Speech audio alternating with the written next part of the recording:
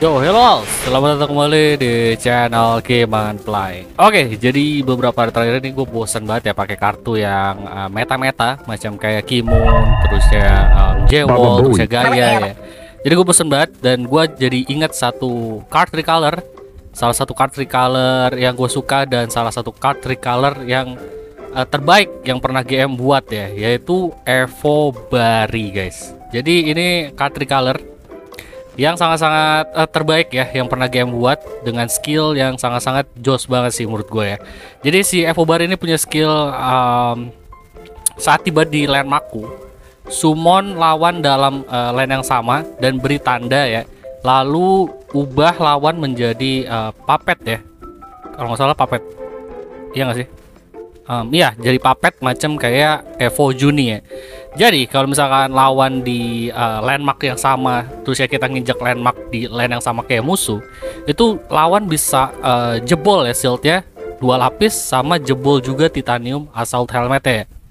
Ini sangat-sangat GG karena kenapa? Ini kombinasi yang sangat-sangat bagus menurut gua, uh, yaitu uh, skill tanda silang dan panggil satu land dengan di combo sama skill uh, support bangkrut bangkrut yaitu puppet ya ini salah satu katrikal terbaik uh, setelah F1 Anubis menurut gua. Dan um, di sini juga ada skill support lainnya juga selain puppet ya yaitu charge shield uh, maksimal maksimal level 2 terus ada skill ninja sus juga. Walaupun ini enggak uh, nggak seramah itu ya nggak seramah um, Anubis skill uh, cardnya. Tapi kalau kalian misalkan udah punya spaceship drawing dan uh, titanium assault helmet ini udah bagus banget sih kartunya ya. Dengan tambahan skill support lainnya macam kayak trampolin yang curah aja juga udah lumayan ya. Walaupun kalian nggak punya kopi trampolin atau trampolin trampolin yang proper lainnya ya atau kayak super dimension grid drop ini juga nggak apa-apa kalau kalian pakai trampolin curah juga udah lumayan bagus. Dan skill serang lainnya kayak kita power punch gun juga uh, kalau kalian nggak punya nggak apa-apa ya. Karena udah GG banget gitu. Skill serang dari Evo Bari ini udah GG banget ya. Tanpa kalian perlu tambah skill serang lagi ini udah GG banget skill uh, serang bawaan dari kartu ini ya Oke, langsung aja kalau gitu kita uh, tes apakah Evo Bari ini masih layak di era meta Jewel sekarang dan era meta Kimun sekarang. Karena udah lama juga gue nggak pakai kartu ini. Tapi uh, kita lihat ya apakah kartu ini masih GG banget dan layak buat kalian kejar. Misalkan ada encore di masa yang akan datang. Langsung aja kita coba ya. Let's go. Oke, lawan Juni, kartu yang setipe sama Evo Bari ya.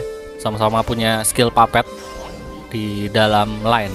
Eh, Iya kalau nggak salah skill Puppet Juni itu aktivasinya juga kayak si Evo Bari ya yang di mana harus di dalam line buat ngaktifin skill Puppet ya. Ubah semua lawan di dalam line. Iya benar. 75 ya persentasenya ya. 75 kalau Evo Bari berapa? 65. Oke beda 10%. Wajar ya karena dia eh nggak ngaruh sih. Harusnya nggak ngaruh ya. Si Evo Juni itu nggak ada versi legendarinya kalau nggak salah ya. Eh ada nggak sih? Nggak tahu lah lupa. Eh ada harusnya ya. Ada mungkin lebih gede lagi ya kalau kalau misalkan dia legendary. Ada ada, ada. Gue punya legendary Juni singkat gue bisa 80 mungkin kalau misalkan legendarinya oke lanjut. Kita jalan ke 4 ini kan shieldnya level 2 nih ya musuh ya. Coba kita tes ombak anjir. Tes ombak tes skill. Um, kita ke sini coba deh. Gua nggak pakai grid drop sih. Mungkin lebih enaknya pakai grid drop ya. Cuman gua nggak ada. Eh gua ada grip dot eh grid drop. Gua ada grid drop cuman gua nggak pakai. Oke kena kupu-kupu kah? Oke nggak kena kupu-kupu. Nah shieldnya hilang satu ya buat ngetes apakah tembus juga ke titanium assault helmetnya nggak nggak terbukti nih. Karena shieldnya hilang satu dan gua hilang nyawa ya. Bangsul bangsul. Karena si dadu kagak pernah bener gitu ya kalau gua main sambil bikin konten gini. Padahal roll dadunya udah udah bener dong. Udah bener loh dengan tutorial yang dianjurkan kan seperti itu kan. Aneh banget.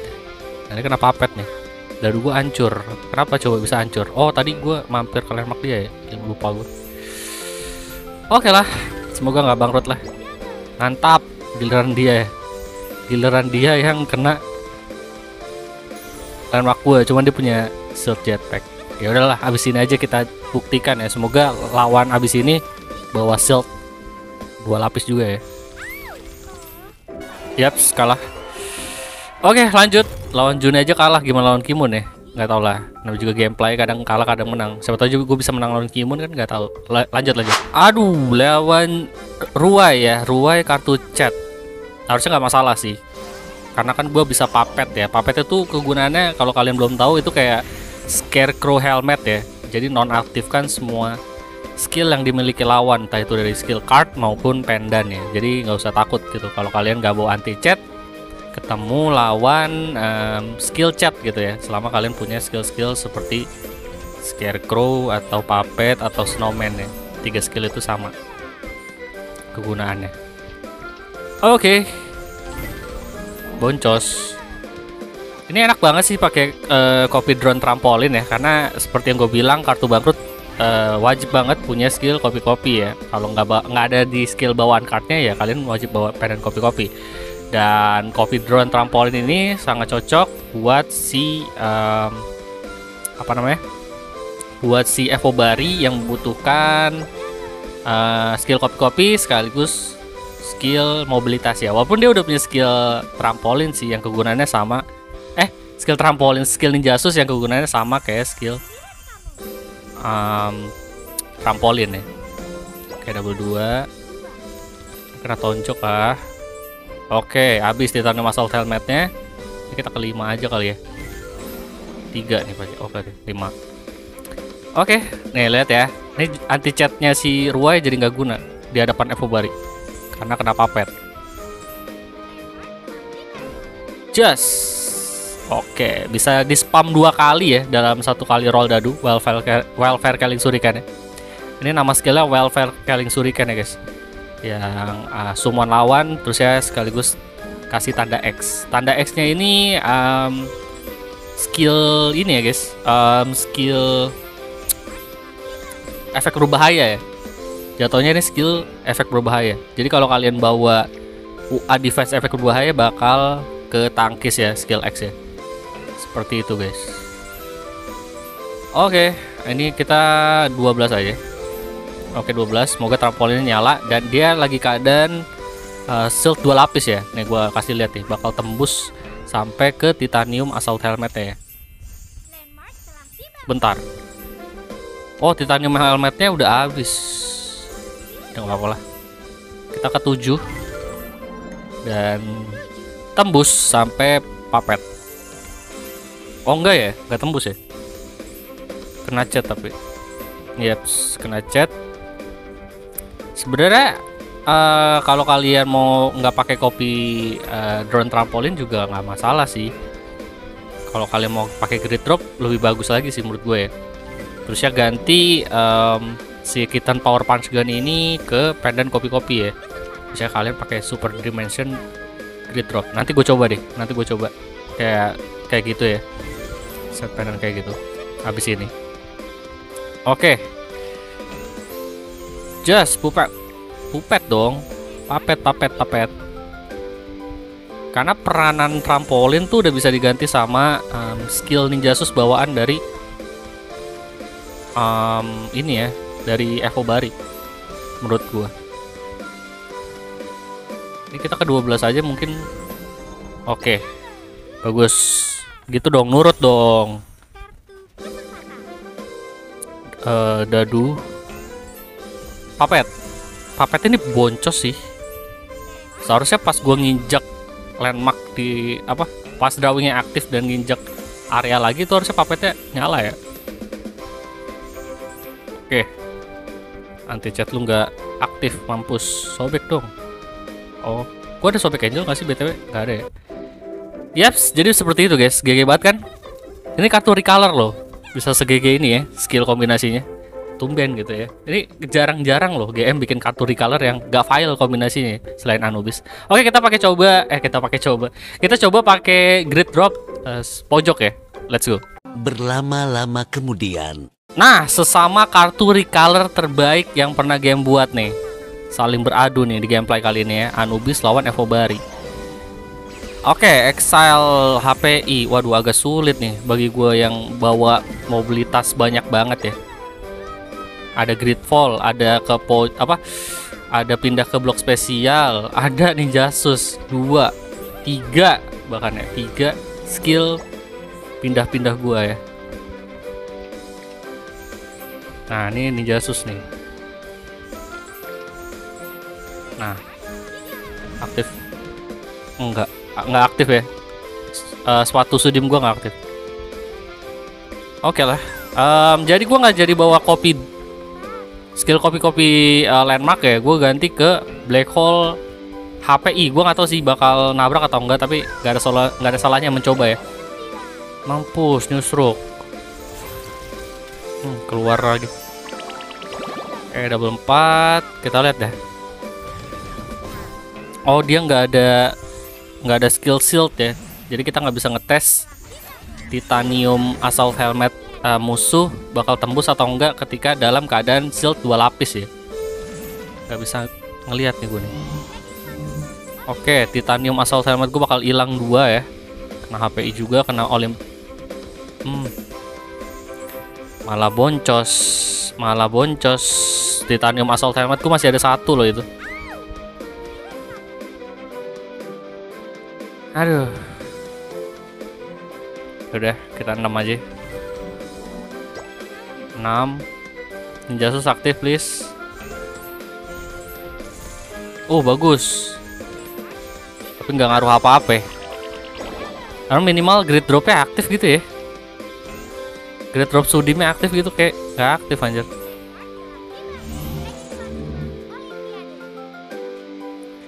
Oke.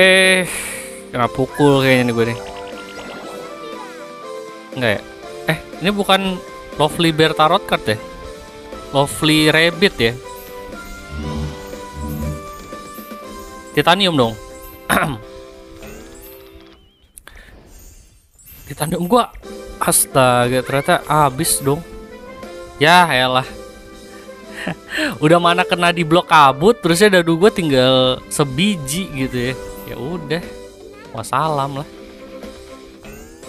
Anjir, emang masih masih di atas Anubis di daripada Evo Bari ya.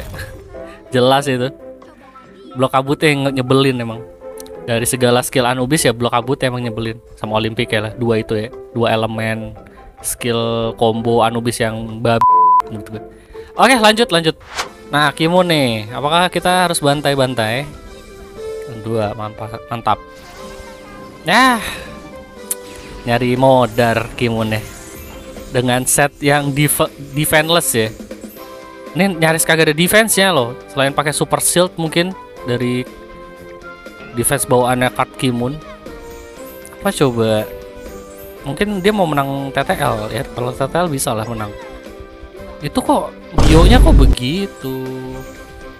Player LGR kayaknya nggak ada yang bener emang ya kok nulis bio. Asal buat asal ya ini tinggal nunggu Kimun kalahnya aja sih. Ya nggak sih? Jangan sombong man. Jangan sengak man. Jangan sengak. Kalah diem lo oke bagus. Super oke super dimension grid drop aktif. Dan dia bawa Excel lagi. Oke double 2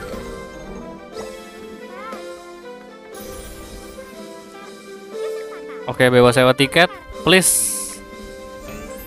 Bagus. Lompat gak sih?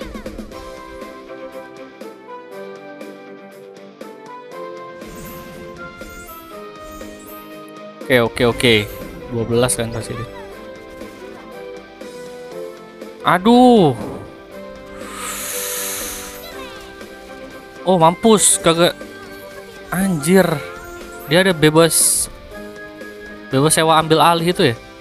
Eh bebas sewa ambil alih. Nah malah gue yang kena scarecrow.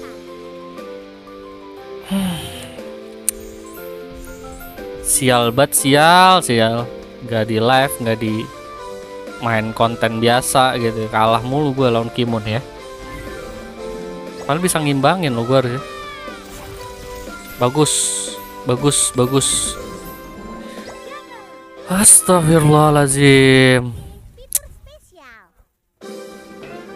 Pakai keluar, iya kan, bener kan? Dia ngincar TTL karena main bangkrut dia nggak mungkin bisa menang sih harusnya. Kita double dua aja lah. Kita double dua aja lah.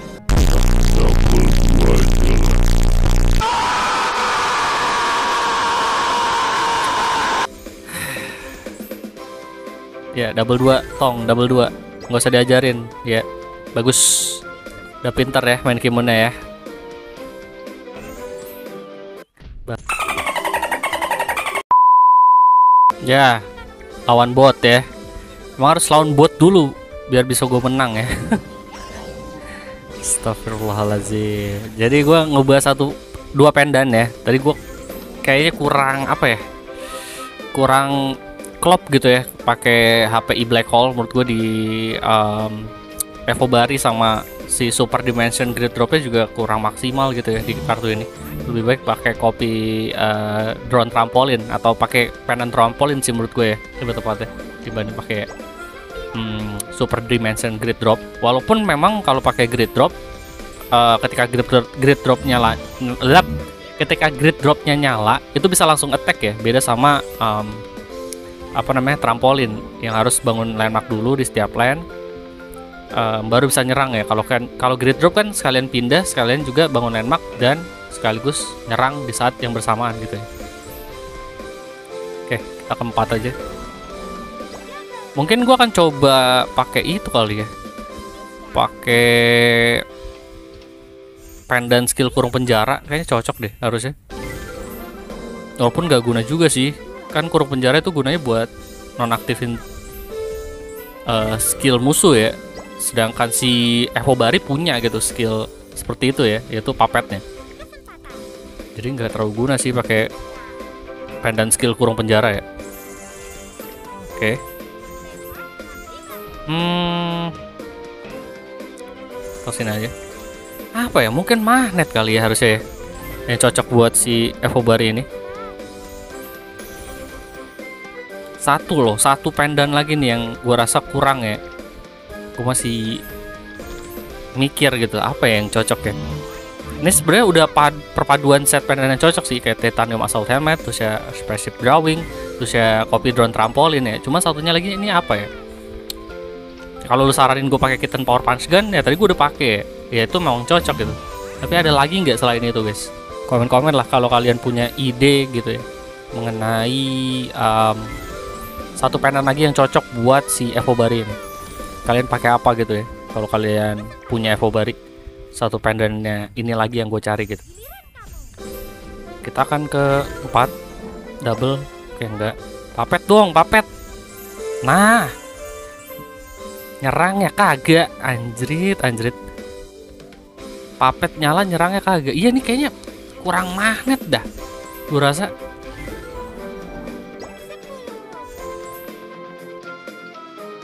Ini magnetnya nggak ada nih kayaknya nih. Oke. 12. Ayolah, jangan papet doang nyala. Serangannya nyala juga lah. Papetnya nyala, serangnya nyala. Ini apa sih anjir? Kan jadi bebas sewa kalau papetnya nggak nyala. Nah, bab. Wuh. Yuk, perang. Nah, nah kan jadi nggak bebas sewa kan kalau papet gitu loh maksud gua. Iya nggak ada sobek angel jadi lama nih. 9 Oke. Oke, pindah lagi ke areaku. Papet nyala, serangan nyala, barengan loh, barengan. Nah, astagfirullahaladzim. Harus satu-satu dulu. Bahkan enggak. Enggak juga, man. Ih, apa anjir? Sumpah nih kalau Nirvana bisa recharge ya dari tadi.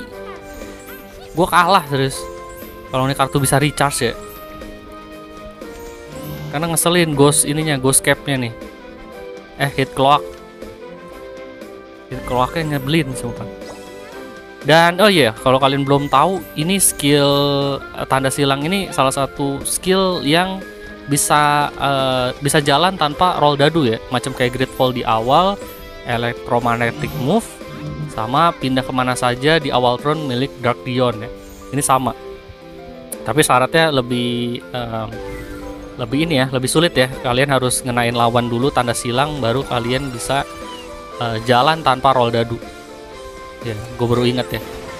Nah, ini kayak gini guys. Ini kan jalan ya. Ini masuknya jalan ya, tanpa roll dadu. Tapi ya syaratnya gitu. Harus bikin tanda silang di lawan dulu. Nah, gitu dong. Aktifnya barengan, cok. Kocak dah nih. Ya udahlah. Sudah cukup lah ya gambaran dari kartu recolor, salah satu kartu recolor terbaik yang pernah game buat selain F1 Nubis. Ya komen-komen kalau ada dua card, card apa? Dua card eh, recolor terbaik eh, versi kalian ya. Menurut kalian apa aja selain dua card yang tadi gue sebutin si Anubis sama Shepard Bari? Gue pengen tahu. Silahkan komen-komen. Yaudah, mungkin itu aja em, konten gue kali ini. Kalau kalian suka dengan konten-konten gue, jangan lupa like dan juga subscribe. Kita ketemu lagi di next konten guys. Bye, Stefano.